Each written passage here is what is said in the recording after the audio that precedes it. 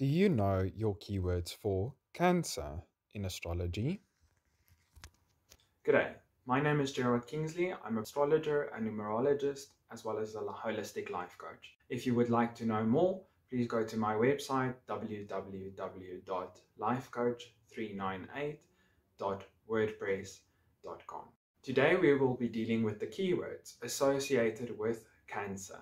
Subscribe to my videos so that I can assist you on your journey of self discovery with the ultimate goal to help you realize your true potential and ultimately to achieve your life purpose. The negative keywords associated with cancer is moody, over emotional, overprotective, can be a helicopter parent, overindulgent, overeating due to emotional issues, depression, bipolar, cold if they have been hurt by you and can be passive aggressive. Every short video is one step closer to knowing yourself holistically.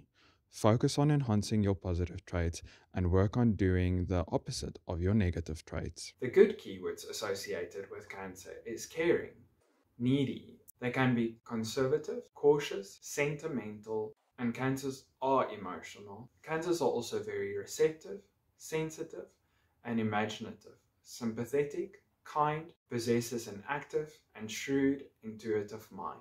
If you would like a more lengthy explanation of this sign, please follow the link below. Thank you for watching. Please remember to subscribe, like, and share. Until next time, goodbye.